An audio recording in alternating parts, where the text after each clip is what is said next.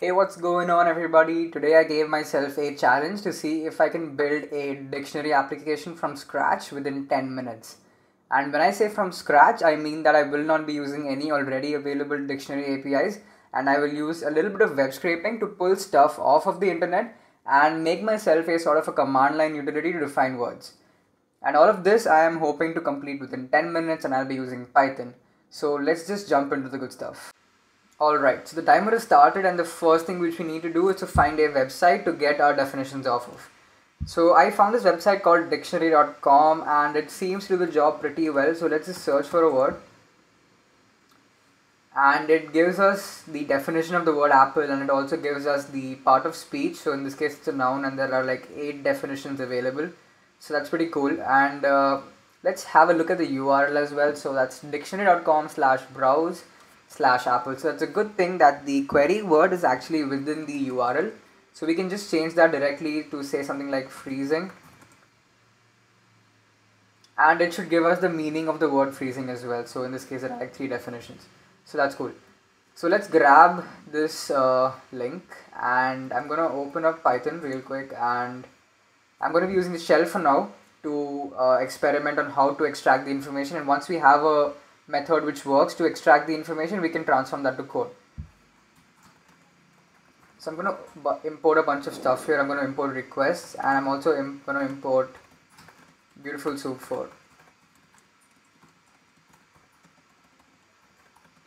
as BS. So beautiful soup is a HTML parser for Python and I'm going to also specify the URL in this case to be that and we can do r equals requests dot get of URL. So this should ping the URL and get all the HTML content for us.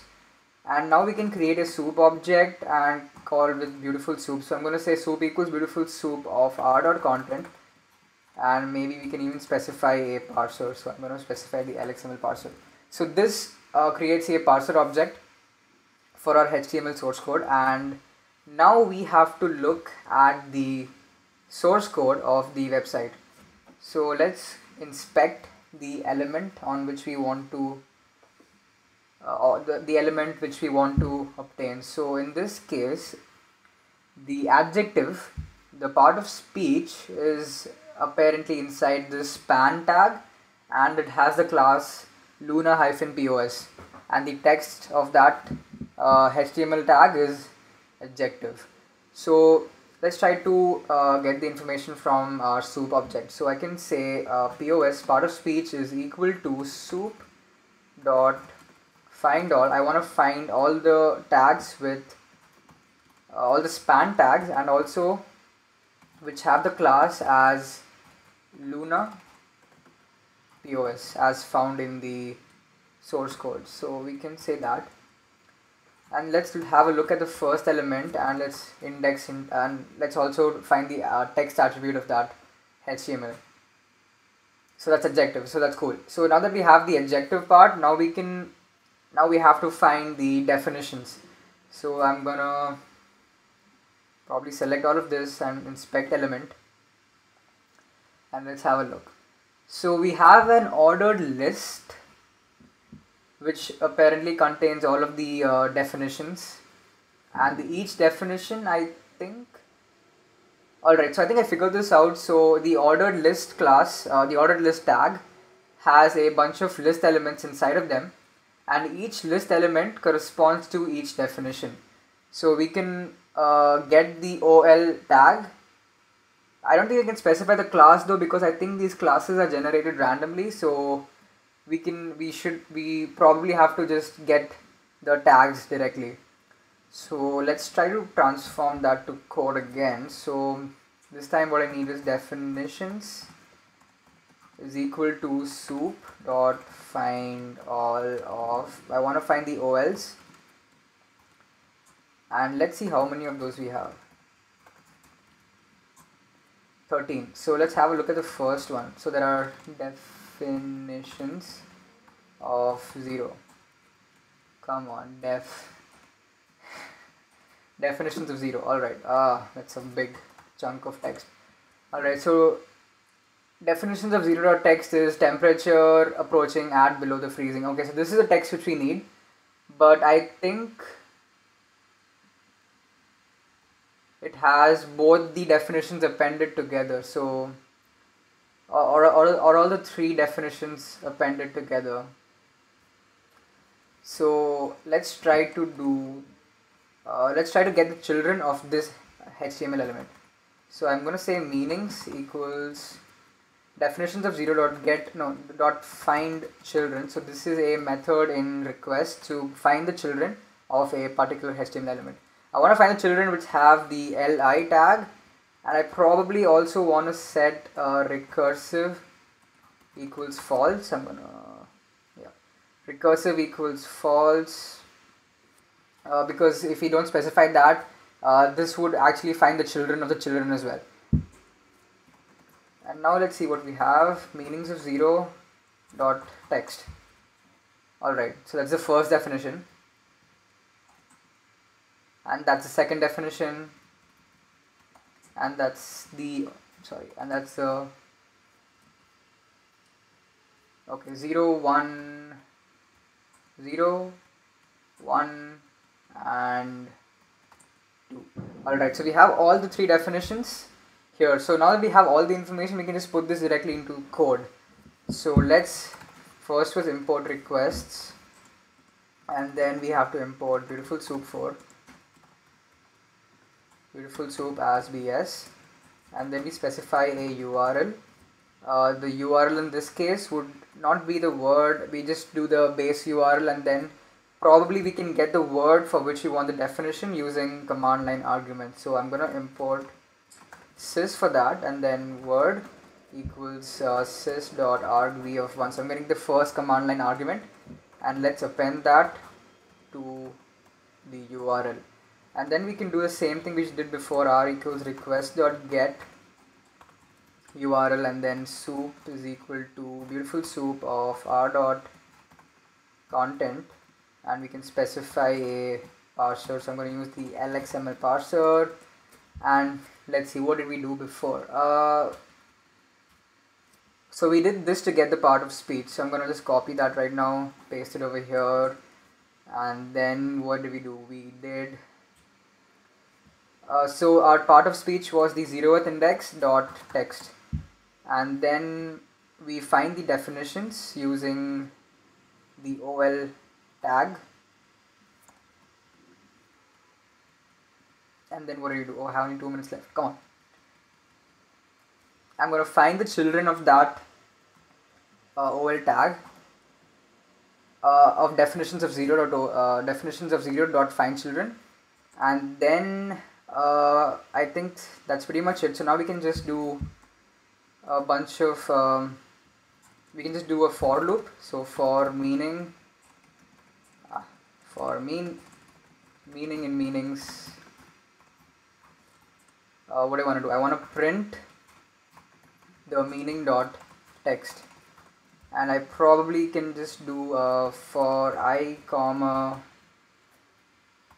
come on one minute left in enumerate of meanings. So I'm going to enumerate the meanings and get the index as well. So we have a number to go along with our definition. So I can just say uh, str of i plus 1 since it's 0 indexed.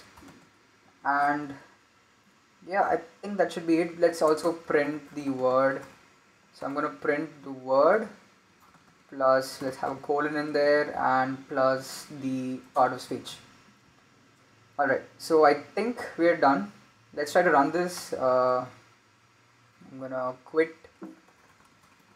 And so our script is called dictionary.py so I can just call it with python 3 dictionary.py and I can specify a word say freezing. Come on. Oh something is happening. List index out of range. Uh what happened? Oh I spelled it wrong. I spelled it wrong freezing. Okay so I have to add some error handling. Alright so cool. So freezing adjective of temperature approaching at below whatever. So we have the definitions and this works. And I have 45 seconds to spare. So what do I do in these 45 seconds? I can probably add some error handling. Uh, I don't know. Oh god, oh god. try. I can add, add a try catch block. Except print not found. So if our program is unable to get uh, the word it can just say word not found and then just exit out of the program. So yeah now we can run this again probably with a different or probably with a misspelled word like feasing and it should say word word not found. Awesome. So yeah three seconds to spare. Awesome. Nice. Time is up alright click to close alright. Cool so now that I have that uh, so our dictionary application is working and uh, now just for uh, the sake of cleanliness I'll just add a bunch of more try catch blocks. So I'll add one here try except so if I'm unable to get the URL I'm, if I'm unable to ping the URL that probably means my internet is down or I'm not connected to the internet so I can just print not connected to the internet. Come on. And then I can also exit out of the program. What else? Oh yeah this one. So also if I am unable to get the uh, first command line argument that probably means that the user had forgotten to specify the command line argument so this whole thing wouldn't work and I can just say try to do that. Otherwise otherwise just say print uh, specify a word.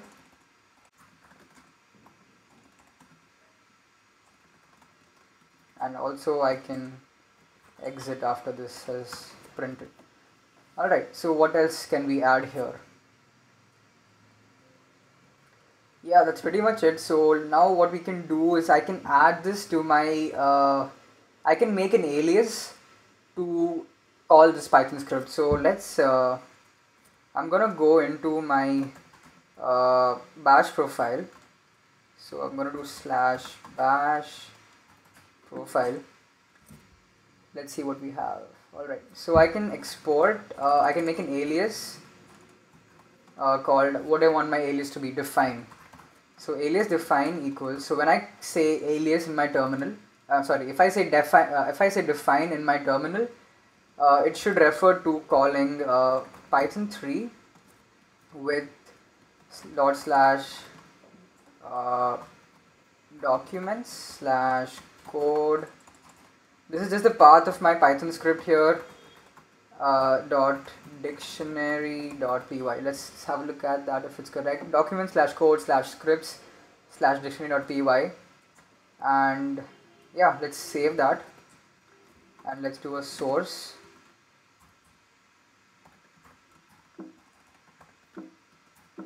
Alright so I've done that. And now let's see if our thing works. So define uh, what do I want to define?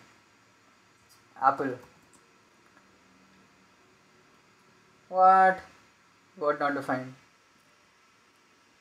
it just worked like two minutes ago. Oh word I misspelled word. Alright let's try that again. Define apple alright so it's noun and it has like eight definitions so that's amazing. Let's define something else. Define phobia Awesome. So it's a persistent irrational fear. Let's define a misspelled word. So I'm going to define some random word. Let's see if that works. Word not found. Amazing. And let's not define, let's not give any uh, argument. And it should say please specify a word. Cool. So that works.